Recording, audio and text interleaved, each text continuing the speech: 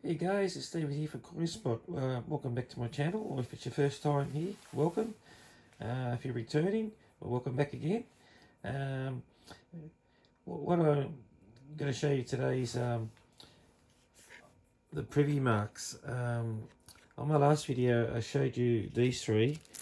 Um, these are low mintage, only, only 3000 but I'm not going to show them to you again. You can see that on the other video.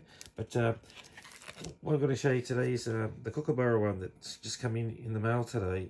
So um, I'm going to show you this one.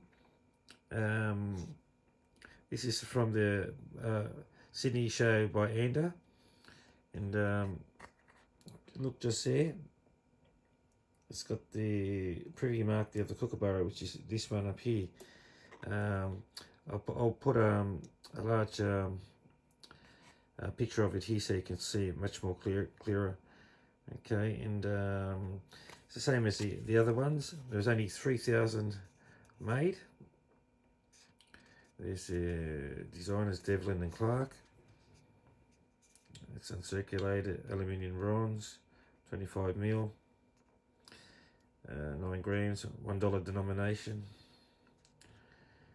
Okay, and it's made by the Royal Australian Mint.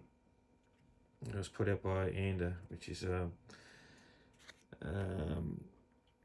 Australian Numismatic Association, a Dealers Association. Okay, Mr. kookaburra. A lovely bird. It's my, actually my, my favourite Australian bird, the kookaburra. Okay, um, just a short video this one. Um, if you if you found that interesting, give us a thumbs up. Um, if you haven't subscribed, um, hit that subscribe button. That'll put a smile on my face. And until the next video, stay safe, take care, have a good one. Bye-bye. Ciao.